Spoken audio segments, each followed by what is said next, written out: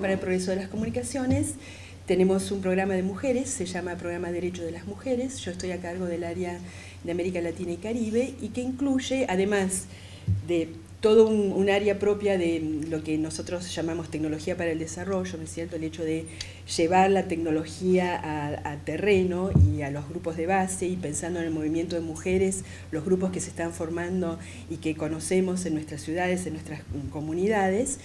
También trabajamos políticas de tecnología de la información y la comunicación y por ello eh, hemos estado presentes en algunos procesos grandes en nuestra región, como es el Plan ILAC 2015 de Sociedad de la Información para América Latina y Caribe, que mm, este, coordina la CEPAL.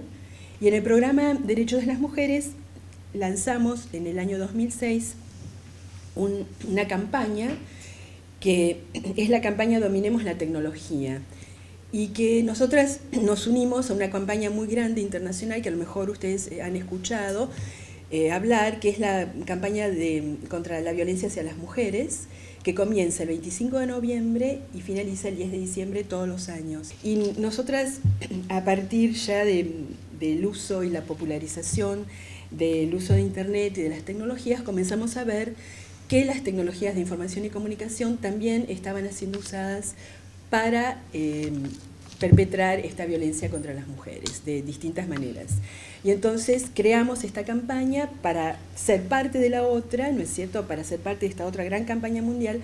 pero viendo de qué manera las mujeres se pueden apropiar de las tecnologías, también para trabajar, para prevenir,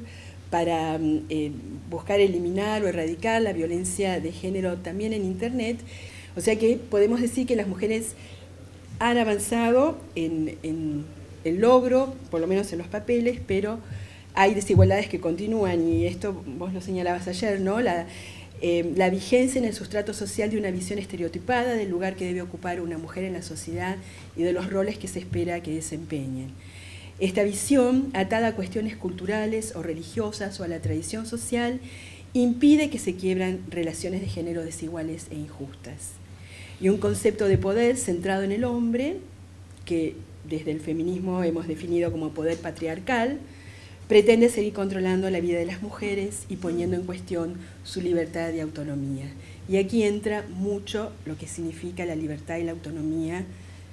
este, a la cual muchas mujeres se pueden asomar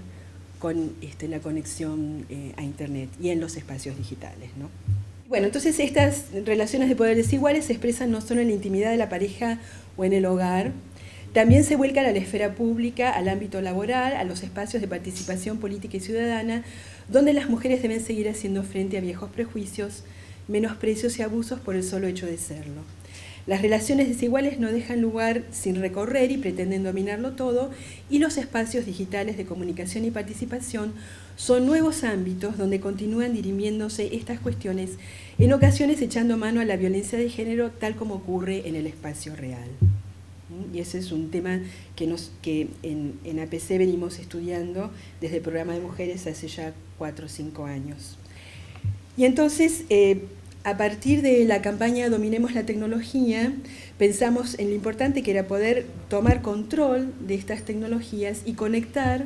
los derechos a la igualdad eh, y los derechos humanos de las mujeres con las tecnologías de información y comunicación. Y entonces nos preguntamos, bueno, ¿cómo impactan? ¿Qué, ¿Cómo estamos viendo el acceso a Internet y el uso de tecnologías de información y comunicación? Por un lado, el acceso habilita el ejercicio de la libertad de expresión y el acceso a la información. Y en ese proceso también habilita la participación en la economía, en el ejercicio de los derechos ciudadanos acceder a servicios e involucrarse en actividades formales e informales que acrecientan la vida social, cultural y política. Pero entonces yo tengo algunas preguntas también que tienen que ver con esta cuestión de la cultura, ¿no? ¿Qué está pasando con la cultura mm, y las relaciones de género y la tecnología, ¿no?